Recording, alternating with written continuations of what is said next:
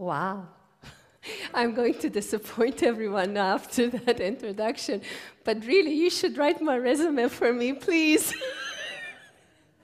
I think you have to disregard a lot of the things that Ahang said. I don't even know where he got that from. You know, I'm just just a student of Baha'i history, of trying, struggling to find more and more things about anything and everything. And it's a pleasure to be here, really.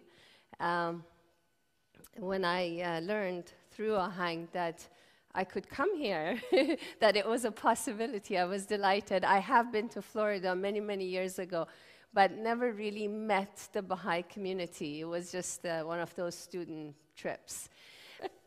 anyway, the House of Justice, however, according to the explicit text of the law of God, is confined to men.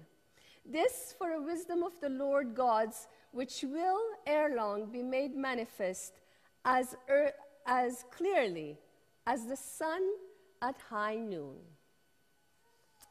All right, now this, this, these couple of lines have always come up, right? At every discussion about equality of man and woman. Now, if man and woman are equal, then why? Why does Abdul Baha say that uh, women cannot be on the House of Justice? And, uh, and why will it become as uh, clear as noonday sun one day? What does that mean? What will become clear? You know, and there's a lot of ideas being thrown around.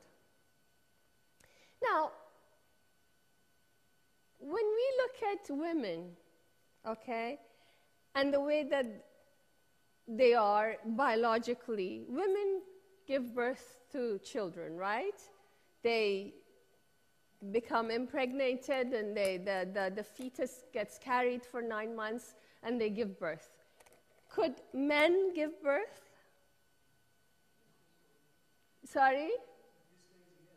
Well, there was, there was the one man, but he used to be a woman. The, the, the surgery didn't quite go well.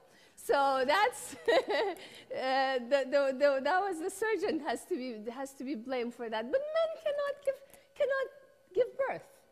That's as clear as daylight, sunlight, right? Does anybody, has anybody ever questioned that in, in all of these centuries? Has everybody gone around and say, men cannot give, uh, give birth, so they're, they're inferior. They're not equal to women. Has anyone ever said that?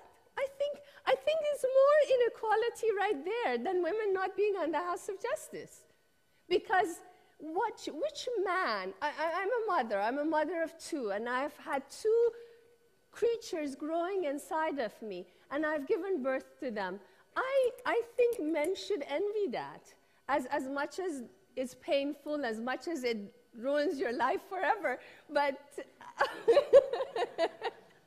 but still, it's, it's something that's, that's incredible. It's something that a man could never even imagine how it is. You can think about it, you can. Um, well, you can imagine to some extent, but you can never know what it is, what sort of an experience it is. And, and it's as clear. I mean, men are, that's their function. And women, that's their function. Women's function is to give birth, to be nurturing, to be loving. Now, membership on the Universal House of Justice is a function. It has nothing to do with the character of a, of a human being, the qualities of a human being. It, it has nothing to do with equality. If I'm not born to fulfill a certain function, it goes to the differences that we talked about earlier. It has nothing to do with the essence of oneness. Man and woman are one in essence because the whole of humanity is one. But we are different. A woman gives birth, something as big as that. But men don't. So Is, is, is there equality there or not? I, I want some answer. Do you, do you, back there, do you think men and women are equal? Because yourself, nobody wants to answer me. But my, my point is that certain functions are made to be carried forward by men and certain functions by women. Uh, and, and, and I use the example of giving birth because that's just such a visible, such a, a distinctive characteristics. And, and I believe the House of Justice is, is the same way because if we go deep into the writings, which I haven't been able to go yet, but you know, we can try to do that, we understand the House of Justice will not always be the way that it is now. One day, the House of Justice would be the ruling, the administrative body for the entire humanity.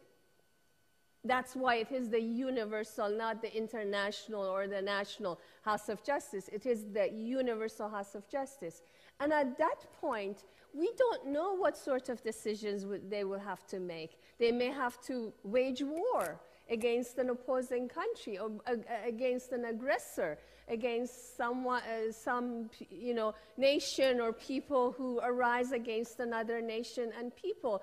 And as we read from Abdu'l-Baha, Abdu'l-Baha doesn't wish for women to acquire those qualities. Abdu'l-Baha doesn't wish for women to have to give orders to wage war, even against aggressors, because our functions are different.